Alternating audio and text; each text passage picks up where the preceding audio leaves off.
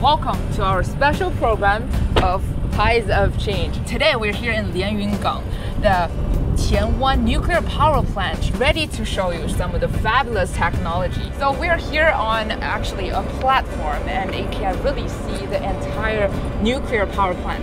铁湾核电站一二号机组的话，它是中国和俄罗斯它在民用的核电领域里面的第一个合作的项目，所以呢，称之为一个中国和俄罗斯 核能合作的一个标志。我们在核电的设计、建造和运行过程中，都采用了很多先进的技术来确保安全。在我们的日常运行过程中的话，我们产生的辐射几乎是没有的。做一次芯片所吸收的辐射剂量呢，可能会超过我们在这边工作一年。If you want to know more about the nuclear or the power plant, my colleague Xinchen is actually standing in the exhibition hall ready to tell you more.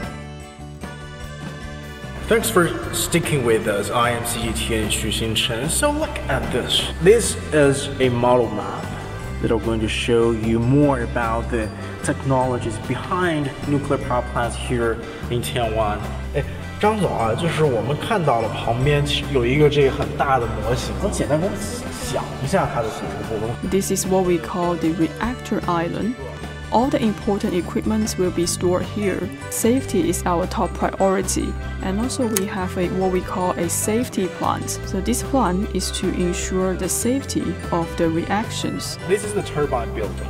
That's where the electricity was created by the steam heated from the reactor, from the core.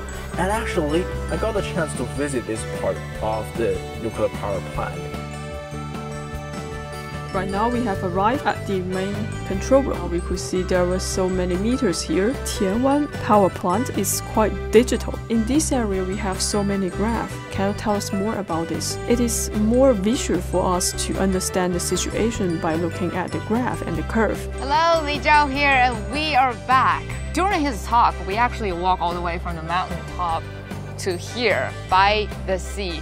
And here we come to the real deal, how they are gonna do with the waste. 我们电站开展的环境监测呢，遍布电站周边。通过电站十几年连续监测，我们发现这个电站的运行啊，对咱们这个周边的环境并没有产生可察觉的影响变化。So if you're someone interested in this place, make sure to visit this place. Tomorrow, we're gonna have more new stuff coming up, so stay with us.